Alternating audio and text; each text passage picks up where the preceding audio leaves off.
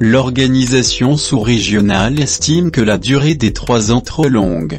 Elle exige un délai le délai le plus court possible les meilleures transitions, c'est les transitions les plus courtes possibles. Une transition qui est issue d'un coup d'état militaire, ce n'est pas un mandat électif.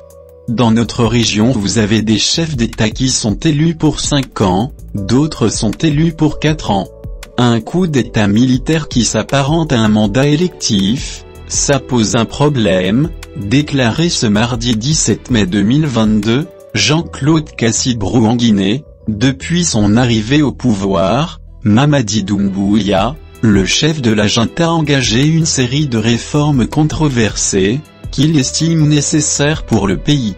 Parmi elles, la récupération des domaines de l'État, la moralisation des finances publiques. Il a aussi engagé de gros chantiers dans les travaux publics. Mais pour le président de la commission de la CEDEAO, une transition n'a pas pour vocation de faire toutes les réformes. Car elle manque de légitimité. Une transition a pour vocation d'organiser des élections crédibles acceptées par toutes les parties pour qu'il y ait consensus et la paix. C'est ce qui doit être l'objectif principal d'une transition.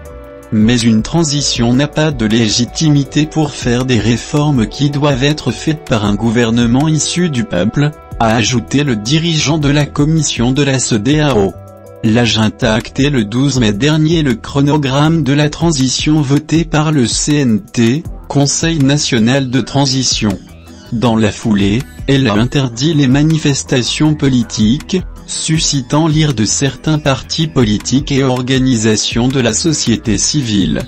Ces derniers, rejettent aussi le délai proposé.